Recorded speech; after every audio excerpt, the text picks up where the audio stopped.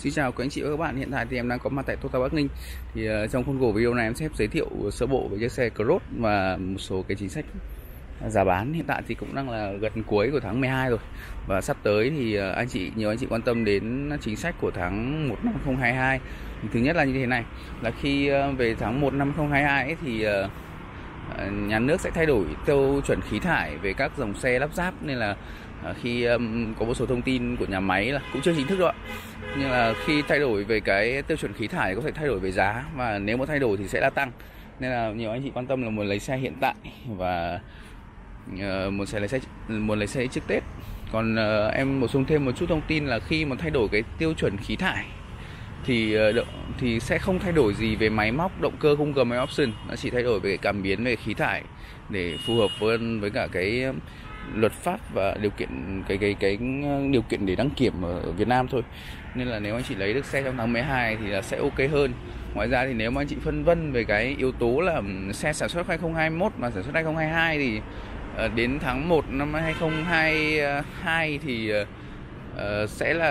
là là khả năng thì ờ, vẫn là xe được xuất xưởng năm ờ, 2021 nên là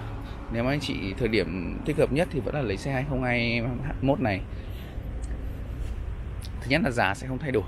còn nếu mà anh chị nào mà cần nắm bắt về giá về tháng 1 ấy và thứ nhất là vừa được xe tháng 1 này vừa thứ nhất là vừa được xe của sản xuất 2022 và là sẽ đi trước Tết thì cứ alo giúp em theo cái số em để trên màn hình thì ờ, em sẽ giải đáp cái, cái thắc mắc nó được cụ thể hơn. Thì trong tiện video này thì em sẽ giới thiệu uh, về ba bản. Thì Cross thì vẫn được phân phối ở thị trường Việt Nam về ba bản thôi. Uh, các bản uh, trong đấy thì có hai phiên bản xăng và một phiên bản là xăng điện.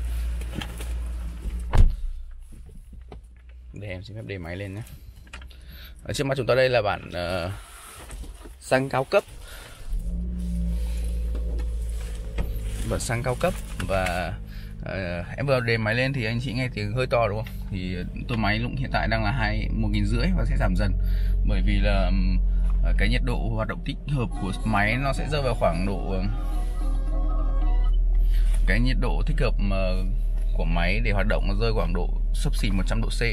nên là khi vừa đề máy lên thì sẽ cái tua máy sẽ phải cao để đẩy nhanh được cái tiến độ uh, tốc độ làm nóng động cơ để đạt được cái nhiệt độ thích hợp còn hiện tại thì đây đang là bản 2. Uh, à, 1.8 uh,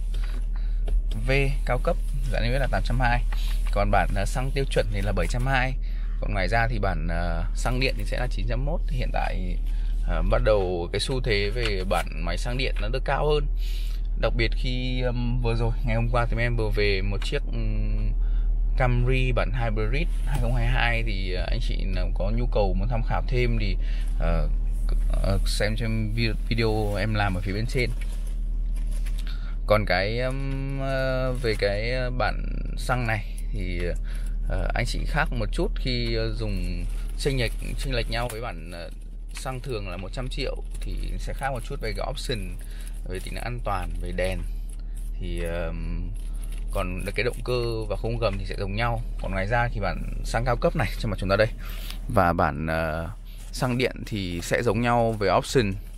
uh, còn sẽ khác uh, giống nhau về option này về uh, kích thước về tính năng an toàn còn khác nhau về duy nhất là về máy móc thôi. Nên là anh chị nào muốn uh, chọn được cái bản nào nó nó phù hợp cho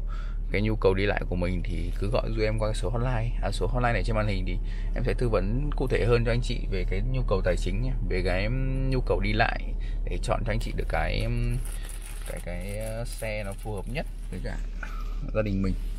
Vâng, à, trong ờ, video này thì em cũng vừa điểm qua một số thông tin mới nhất về dòng xe cũng như thị trường xe thì anh chị nào cần em hỗ trợ thêm về thông tin gì thì gọi giúp em qua số điện thoại trên màn hình nhé. À, xin hẹn anh chị ở video lần sau.